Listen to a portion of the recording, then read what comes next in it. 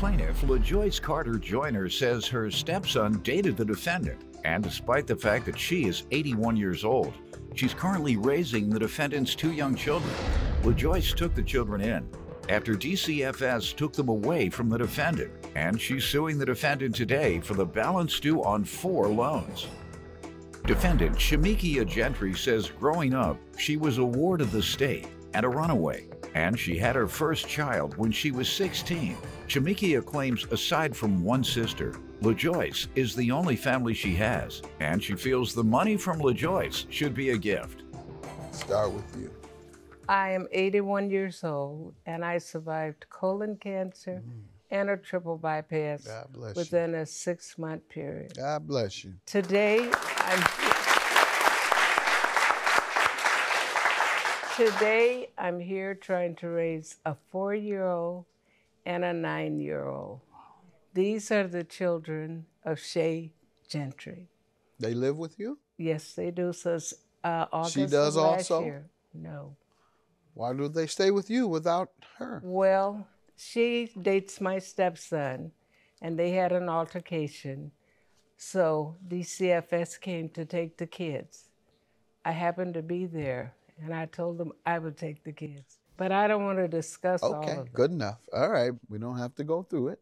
And how's that? How long have you been raising them in the Since household? August 7th of last year. Is that too much for you? Do you it's have some help? It's beginning to get too much. I'm getting Yeah. very tired because I'm really too old. Yeah. But they're going and taking courses, doing what they're supposed to do to get their kids back.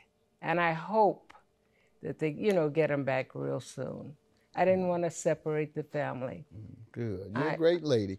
How do you and the defendant get along? And what type of relationship have you had other than that? We have a good relationship. I met Shay when she was dating my s- stepson. She was about 19 years old. And she told me how she grew up in the system. And I felt sorry for her. And I just did everything I could to help mm-hmm. her. All right, let me hear from you. Well, Your Honor, I got a lot of love for, love and respect for Joyce. Mm, I met her through her stepson. That's my son's father. He introduced us when I was 19, and ever since then, she been like a mother figure to me. Like she say, um, I was a ward of the state. I was a runaway. I had my first child when I was 16. Besides one of my sisters, Joyce, her husband, and her stepson is the only family that I have. How old were you when you got your own place? 19. Okay. Did you get your high school diploma? I got my GED when I was 19. Good. How old are you now? I'm 26. All right. Did you go further? No. No, why not? Uh, just being honest, I was, uh, went to school for criminal justice, but I stopped because I felt that I was going for the money and I felt that wasn't right. So I had to go find me a job. So I was been, So you're I not just, gonna go for anything just for the money. I just been working. That ain't right. Something wrong with that. right. To work for money. or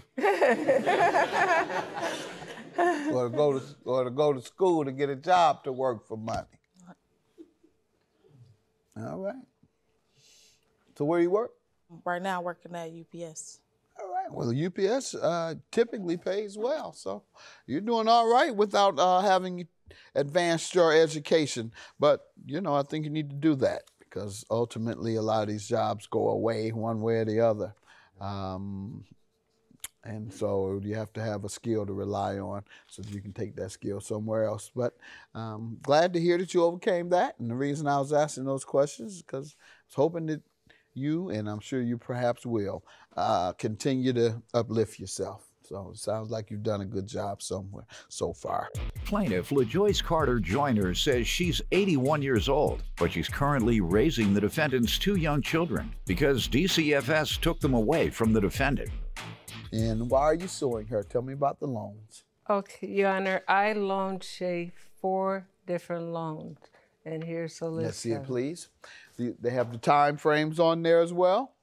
What is that? The times you loaned it to Oh, her. yes, the dates. right. Yes, Your Honor. Okay. Um, I loaned her for car repair, March of 2014, $1,500. And she was supposed to pay me when she got her next tax return, which I did not get. Of course not. and, and that particular car was totaled, so I got her a 2013 car, Versa, and I loaned her $1,350 for a down payment. And she had $200 traffic ticket, When, okay. and $79 was for a mini physical for her little girl to go to school. Okay. And that totaled $3,130. She paid me $1,300. And that left a balance of $1,830. Where'd she get that money at one time? Income tax. Okay, she finally got that income Yeah. tax. All right, so at least she kept a little bit of her word. And I have all these receipts here for Let's see 'em, the please. loans. Young lady, what do you want to tell me? Well, I did owe her for those four loans.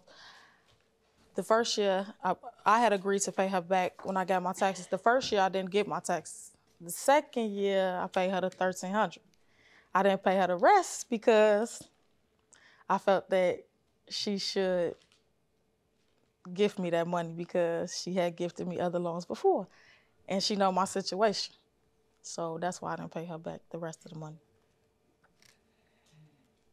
Because you think she should give you the money. That's what you're saying? Yes.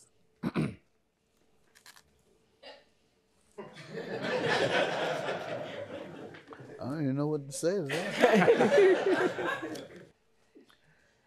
you have anything else to say, ma'am? You know what she says is uh, not a legal defense.